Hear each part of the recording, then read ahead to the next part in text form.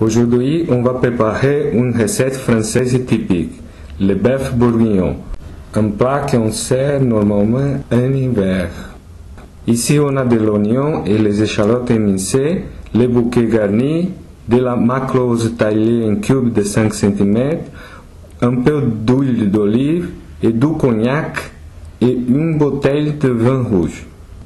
Pour commencer, il faut d'abord mariner la viande et l'oignon, les échalotes, les bouquets garnis avec le cognac et le vin rouge pendant 24 heures.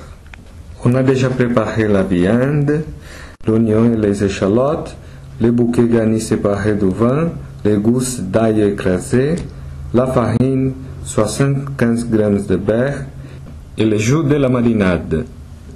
Maintenant, on saisit les cubes de bœuf sur tous les côtés pendant 3-4 minutes.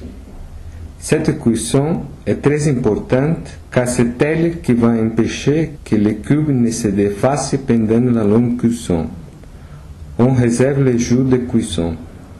D'abord, il faut faire chauffer 25 g de beurre dans la cocotte et on ajoute l'oignon et l'échalote de la marinade et on laisse fondre 2 minutes.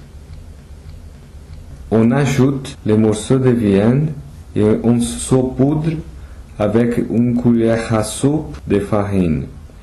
Pour terminer, on ajoute le jus de cuisson de la viande, les gousses d'ail écrasées, le bouquet garni, l'os à moelle et le jus de la marinade de manière à couvrir toute la viande.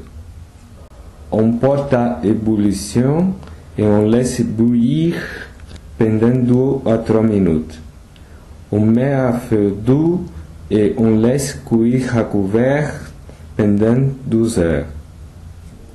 On met le beurre à feu moyen et on fait revenir les lardons pendant 5 minutes. On ajoute les oignons grelots et on les cuit à couvert pendant 10 minutes. Il est important que les oignons brunissent mais sans brunir. On retire les oignons et les lardons et on met les champignons? On laisse fondre pendant 5 minutes et on remue régulièrement. La viande a terminé ses 12 heures de cuisson. On ajoute les lardons, les champignons et les oignons grelots. On laisse cuire à couvert 30 minutes.